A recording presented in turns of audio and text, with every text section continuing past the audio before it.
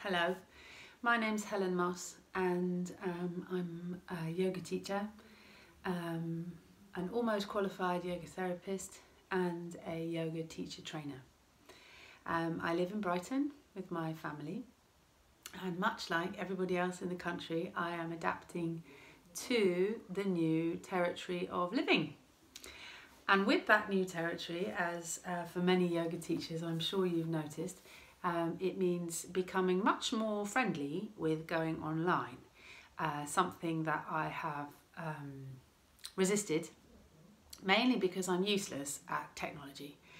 But this situation we find ourselves in is giving me the opportunity to work through that resistance to technology. Uh, I'm treating that as a yoga practice in itself.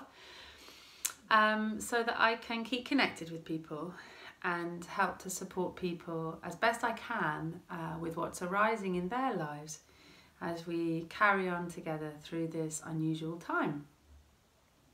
So I just wanted to introduce myself because I realise that if you're going to start practicing with someone, it's nice to know who they are, and what maybe why they're qualified to practice with. So I trained with the British Wheel of Yoga which I think uh, a lot would argue is probably one of the most rigorous yoga trainings there is. I trained with them in, I think I qualified with them in 2008. Um, I then went on to do another month's intensive teacher training in India uh, the following year. I've got several six-day trainings under my belt uh, in kids yoga, postnatal, pregnancy, yoga nidra and restorative yoga and many other kind of short training courses in anatomy, um, taking yoga off the mat. And most recently, I've just completed a, what I think ends up being for me, 610 hour yoga therapy course. I've just got my case studies left. Um, and yeah, I run weekly classes in Brighton.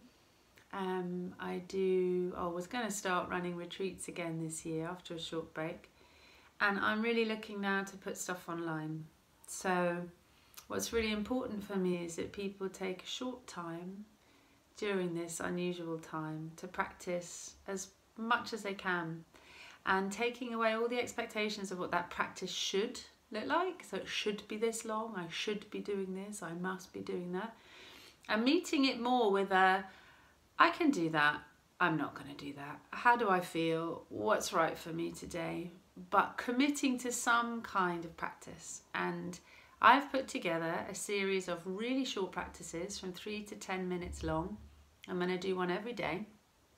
Um, I've put them on my YouTube channel, which is Nidra Restore with Helen Moss, and little snippets of them on my Insta. And uh, at the moment, there's some breath, meditation, and this morning a short movement practice.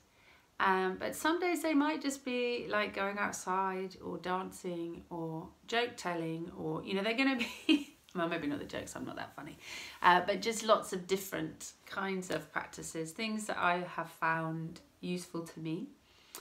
Um, so if you think that would be useful for you, please enjoy them. Please get in touch with me. Um, email's the best. There's so many ways of keeping in contact with people these days. I'm not so good at keeping up with all of them. Uh, so email, you'll definitely hear from me. um, but anyway, I just wanted to introduce myself and also whilst I've got your attention just to wish you well. And um, when all of this has changed and finished and we've moved through it, which we will, I hopefully look forward to meeting you in person. That would be lovely. But in the meantime, we have this.